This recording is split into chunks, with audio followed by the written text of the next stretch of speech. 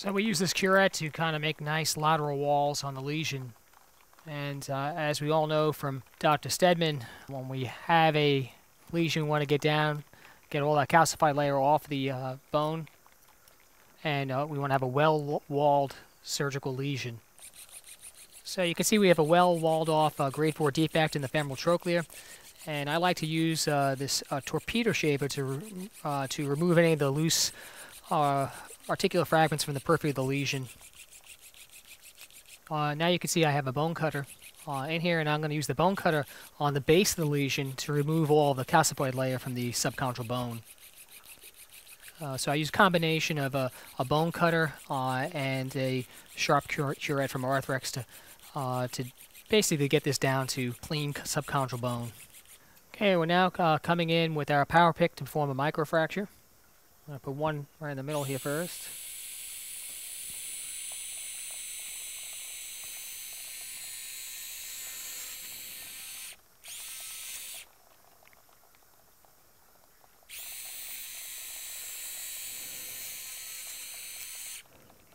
My go-to is uh, to use the um, the 45 degree power pick to do my microfractures. Uh, I find it to be twice as fast as the standard uh, Steadman picks. Our next step is we're going to go ahead and uh, harvest the autogenous uh, articular cartilage uh, from the patient and then combine that uh, with our BioCartilage.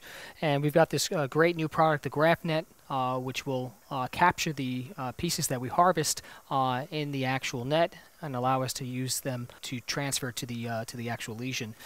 Uh, and there are several sites, so just like if you were to do harvest a OATS, uh, there are several sites that you can take it from. This is a left knee specimen, so you can take it from the lateral femoral condyle on this location here. Uh, another good place to take it is uh, from the intercondylar notch, uh, right on the edge uh, of the intercondylar notch would be another good location from the, either the lateral femoral sulcus or the medial side. So in this particular specimen, we're going to go ahead and take it from the uh, intercondylar notch on the lateral side here. Uh, and I like to use the Arthrex uh, bone cutter to harvest this uh, articular cartilage. Um, and uh, you can see it's pretty effective about taking the fragments. And uh, it's all being caught right now in the GraftNet. Another good location to harvest the articular cartilage from would be right on the lateral edge of the lateral femoral condyle um, on the proximal aspect and uh, is another good location to take it from.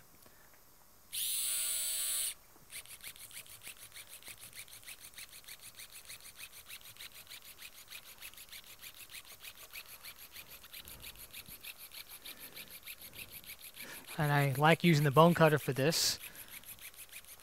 see it very nicely takes uh, nice fragments of the articular cartilage. Uh, in a relatively atraumatic fashion. So you can see we have our uh, shaver and the GraftNet um, in line uh, with the suction. Uh, we're going to go ahead now and, and uh, take a look at what we've harvested. So I'm going to take it off of the shaver um, and um, it just simply screws apart here. And then there's this little plunger here, uh, and we can literally pull out the articular cartilage. And you can see we got a nice nice harvest of uh, the patient's own art articular cartilage uh, that will now go ahead and mix with BioCartilage uh, and uh, autogenous fluid, uh, either PRP or bone marrow aspirate, depending on your preference.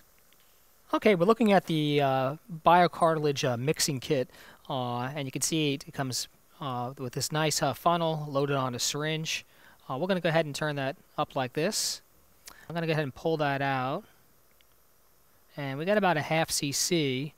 Uh, we're going to go ahead and uh, take the patient's autogenous articular cartilage uh, and we're going to go ahead and put this in the uh, BioCartilage uh, syringe system here. This is a cc of the uh, BioCartilage, so we're going to use about half of it so it matches the, about the same amount of our articular cartilage.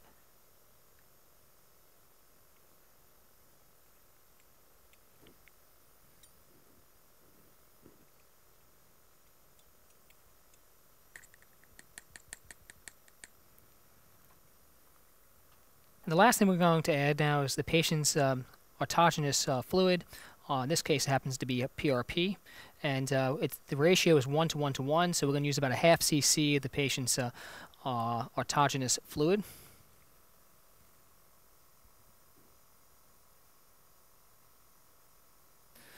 So we've now capped the syringe, uh, and we're going to go ahead and remove this piece. Now this becomes into a mixing syringe. So we've nicely uh, mixed the BioCartilage uh, with the patient's own articular cartilage, and we have a nice mixture of the two. Now we're going to turn it back into a delivery syringe from a mixing syringe, and we're just going to snap this back into place. Now we're back to a delivery syringe and we're going to take off this distal cap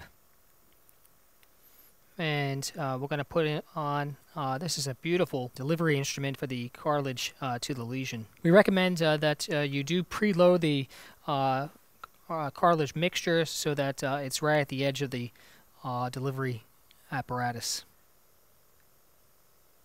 So I'm going to remove the syringe now and this is going to serve as a plunger then I'm going to go ahead and slide in here.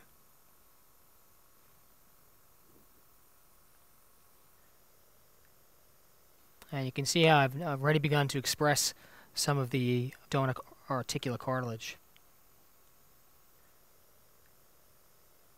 We're back in the knee, uh, and uh, we're drying the lesion now with the uh, suction swab.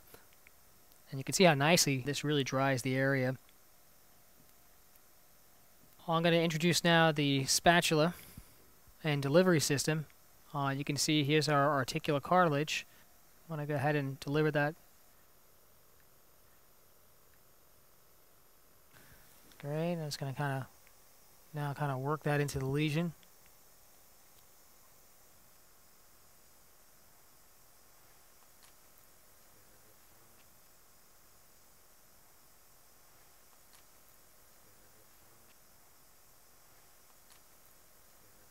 So you can see we very nicely backfilled the lesion with the combination of the articular cartilage that we got from the GraftNet combined with the scaffold of the BioCartilage and the patient's uh, own autogenous uh, fluids. Once we've uh, backfilled this, uh, the next step would be to go ahead and to seal it, and uh, you certainly can use fibrin glue in sealing these lesions.